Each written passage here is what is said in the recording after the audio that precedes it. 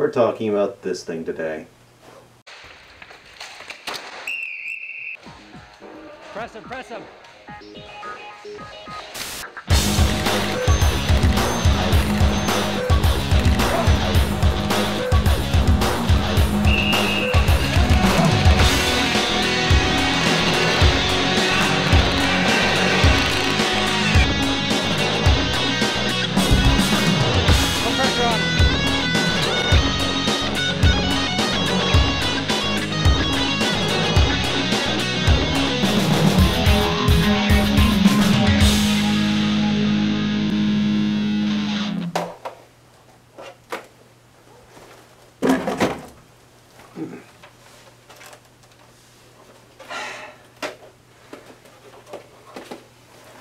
So, I finally got a different camera than the one you're probably used to on this channel.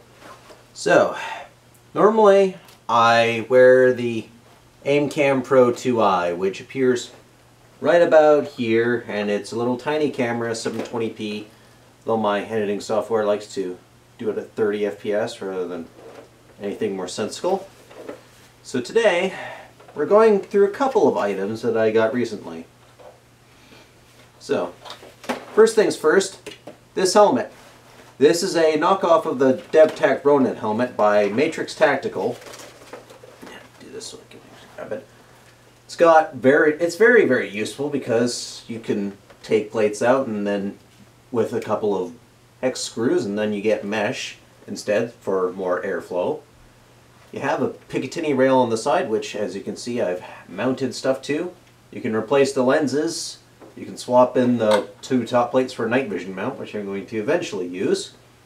You can swap the face with the uh, mesh one, which I've attached some cloth to, to provide a filter because, you know, COVID rules regarding the VFBA requires that I have some kind of a mask on. And this bit here, this is a scope mount that has Picatinny rails on it, so you're not going to get that if you get this. But we also have this. This is a Firefly Q7, I believe. It's designed to go onto any Picatinny rail, and it's basically a rail cam. So I, to turn it on, I just hit this M button here. Little screen comes up. I press this button. And I'm getting 720p 60.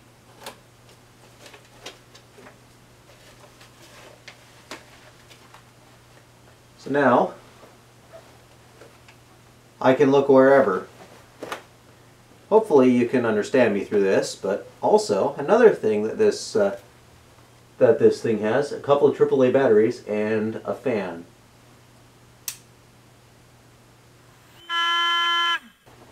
This is mainly used for defogging, because I can turn this on to unfog the lenses. So if I just hyperventilate in here for a bit,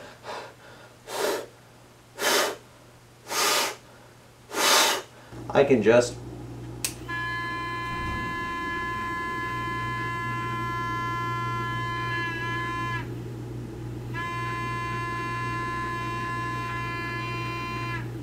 hit that switch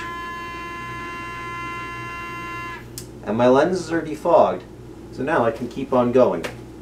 Now there's a couple of things you might wonder. How com how comfortable is it? Well, it's fairly comfortable. Got some nice padding on it, and it fits my head basically perfectly.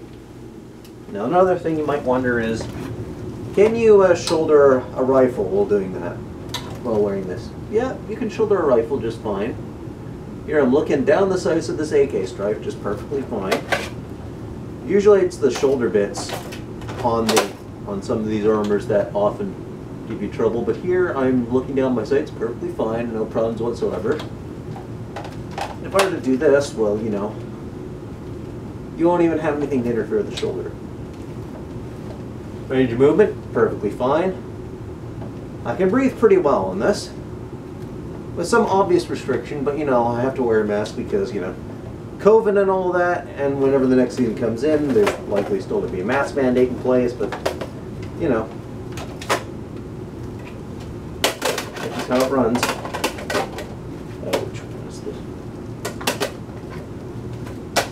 only problem is you can't really look down at this. So yeah. This is also a fairly expensive set of gear in, to in total, mostly because of this camera here. I'm going to shut this thing off. This is an incredibly expensive piece of kit, kit because you got the helmet, plus about $40 worth of duties because it came from the US. Then you also have the camera, which was another hundred-ish dollars. So you combine that all in American dollars and you get a pretty expensive little package. Yeah. Sitting here talking, yeah, it's a little bit, a little bit warm, but I can turn the fans on. A little bit of cold air on me. Overall, I think I could probably manage with this, especially with the cooling fans on medium, so that they're not too dangerously loud.